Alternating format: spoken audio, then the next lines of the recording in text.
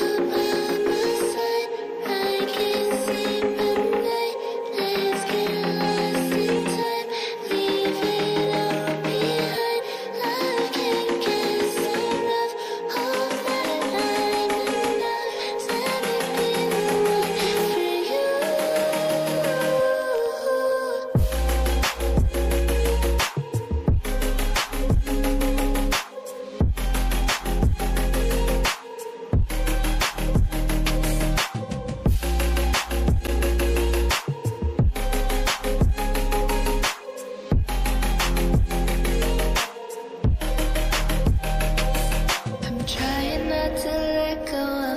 pride.